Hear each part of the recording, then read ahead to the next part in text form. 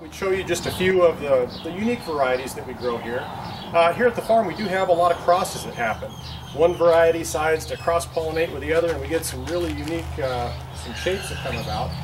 And it's a fun job trying to think of the names for it. So this could even be a, a swan gourd or a tall skinny bottle gourd.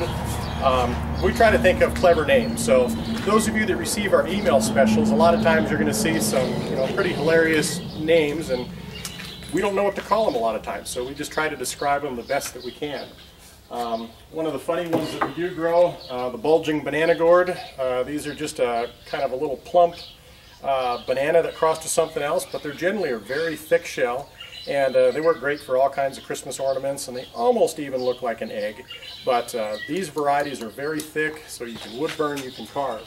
And again, I mentioned some more crosses. Here's you guys get to name it. This looks like a chili pepper or a carrot gourd or an elongated strawberry or an upside down vase or like I said, there are just some unique crosses that happen.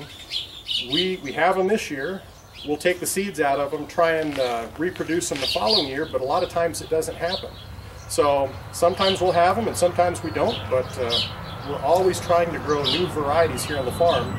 But this is one that just happened by accident.